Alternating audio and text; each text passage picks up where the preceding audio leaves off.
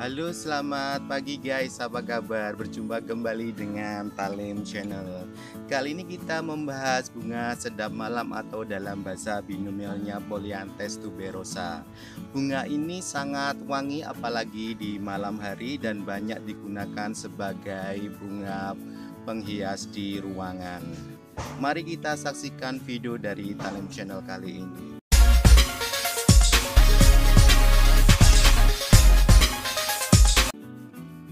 Inilah guys bunga sedap malam milik Talim.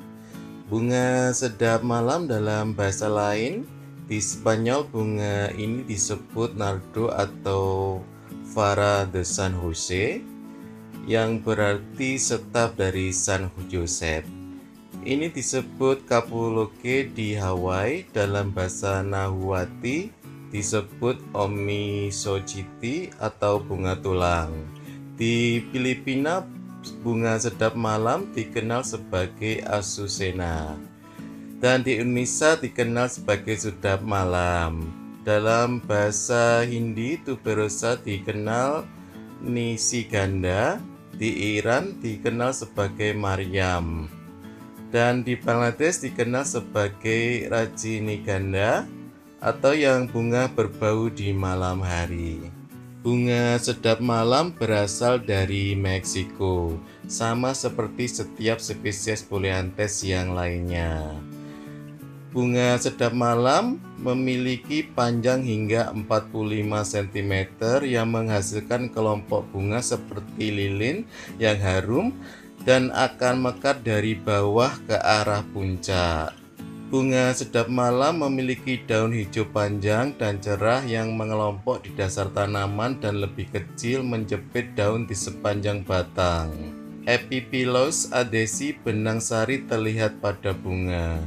Di India dan Bangladesh, bunga sedap malam banyak digunakan dalam membuat karangan bunga yang dipersembahkan kepada dewa-dewa atau digunakan sebagai ornamen pernikahan.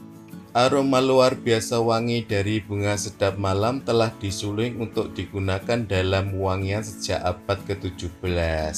Ketika bunga sedap malam pertama kali tiba di Eropa, Ratu Prancis Maria Antoinette menggunakan parfum yang disebut Silange de la Reine, juga disebut parfum de Trianon, berisi bunga sedap malam, bunga sitrus, cendana, melati, iris, dan cedar.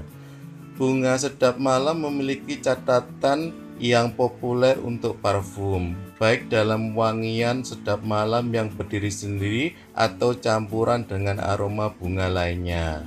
Tetapi umumnya harus digunakan dalam jumlah yang sedang karena esensinya terlalu kuat dan dapat membuat pemakainya tidak nyaman. Bunga sedap malam sangat senang dengan matahari. Jadi full matahari ya sedap malam. Bunga ini sangat mudah perawatannya, cukup dipupuk dengan pupuk kandang atau NPK sebulan sekali. Dan bunga ini akan berbunga setahun sekali sekitar bulan Oktober atau November.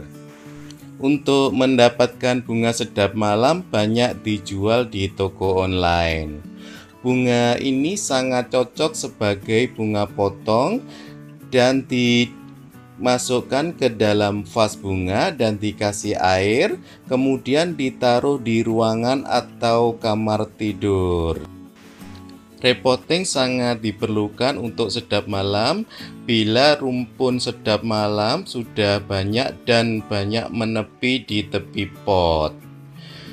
Selamat menanam bunga sedap malam guys. Salam hijau selalu.